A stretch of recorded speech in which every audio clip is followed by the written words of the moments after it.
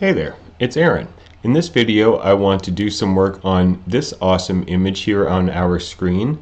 I'm going to expand the canvas and make this a landscape full screen image and let's see how this character comes to life when we expand the screen for her and give her some place to live. So let's see what we're working with here. We've got 640 by 832. So I think to start off with I'm going to go ahead and make this 800 by 1200 portrait orientation so that we can give her the height that she needs to give more of a body. I don't necessarily need a full head to toe body shot is not what I'm looking for.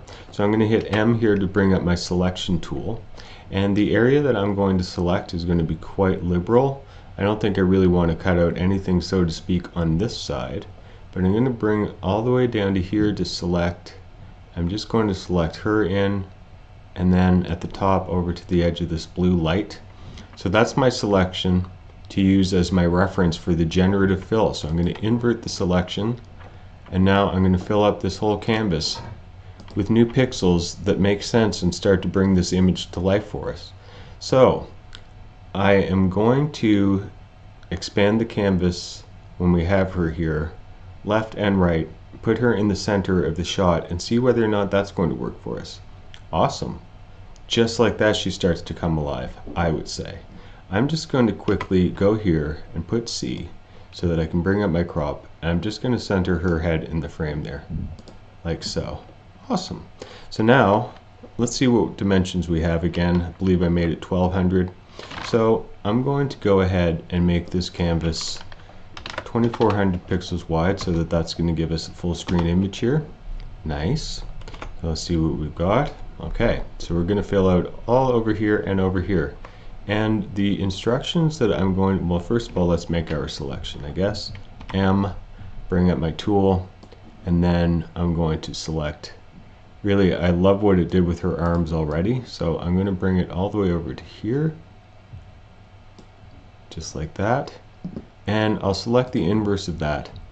And I'm going to ask it to fill it with um, I would like to have some burned out cars and tire fire in the background. But I'm hoping that it isn't going to put them in the near in the near ground. Like I don't want them really to be prominent in the shot at all. I just want something on the left and on the right to kind of fill out the space and make a nice composition. So we'll see what this comes up with and see whether or not we want to take a different approach. So those far this isn't too bad, but here this is a mangled mess and overall it looks like clip art. That's really not great. And I also don't really care for that. Let's just run that one more time and see if we can get a better result. Let's zoom in on our figure here. So I would like to get something happening on her arms and maybe something more of a detail on her chest here as well since that's a very your eye is sort of drawn here. Alright, so let's zoom out on this and have a quick look. That looks really, really nice. Natural. Let's put another, try number two. That's pretty cool. And number three, hmm. Well, if number three had something happening over here, then I would be pretty happy with it. Why don't we have another look here at number two? So I'm going to say with number two, but why don't we try to do something like, why don't we add more people? How about we say add shadows of people in the background? Maybe just give it something a little bit to fill up. I'm tempted to ask for a burned out car or something over here, but I don't know if it's going to deliver.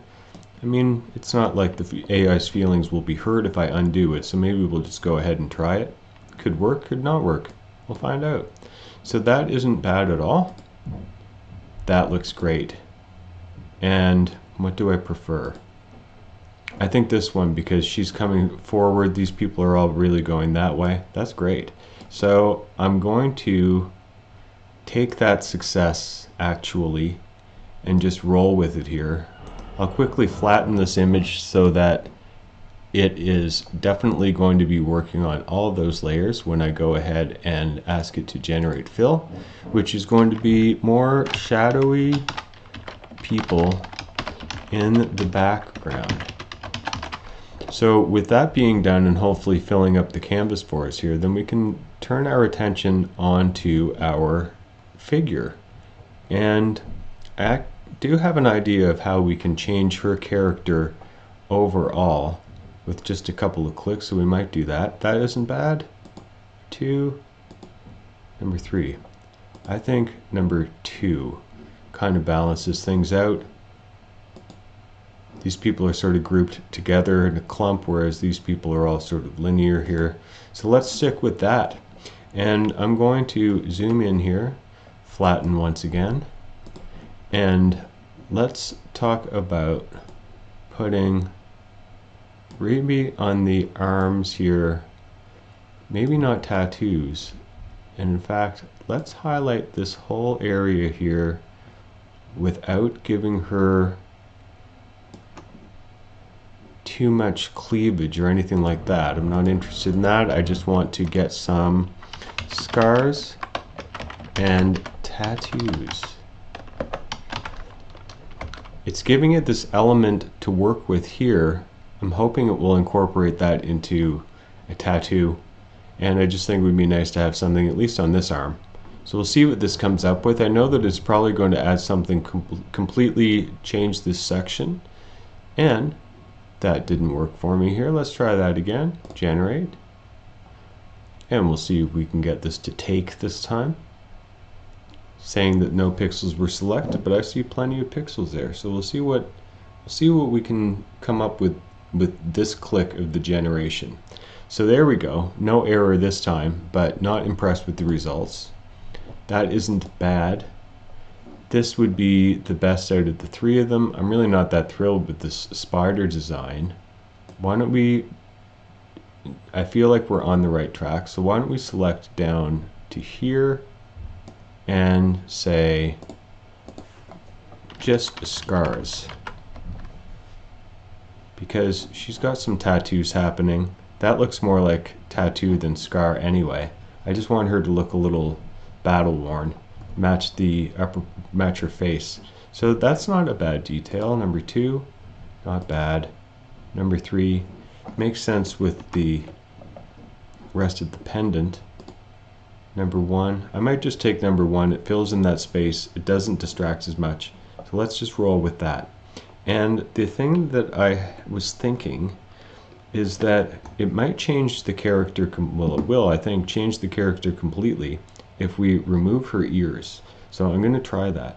I'm going to flatten here, and I'm quickly going to zoom in, and I'm not going to ask it to remove an ear, but I am going to ask it to go ahead and remove object and I'll repeat the same process on the other side depending on what the result is here. I think it's going to be good. Very piercing eyes. Sort of two different colored pupils, which I kind of like. Adds a certain character to her. So there, that did a great job. Got rid of that ear for us. Let's zoom out here. Not bad. Version 2, better. Version 3, version 2. I think 2 is more balanced. So we'll do the same thing on this side since that worked out so well for us. And I will generate fill and ask it to remove object. You'll note that I selected the layer that I want to be working from. If I had used that, if I had asked for this fill on that generative fill layer, then it would have given an error because there wouldn't have been any pixels there for it to work with. So here you go, number two or number three Number three looks great. So let's zoom out. Here is our figure, and I think that she looks fantastic. I almost wish she had more of a mischievous, evil smile. But whether or not you like it with the with or without the ears, that's a matter of personal preference. But I think that we've done a good job of giving this character an environment. She makes sense there. The composition is decent. And if you enjoyed this video, and you want to encourage me to make more of them, then like and subscribe, and I will see you the next time.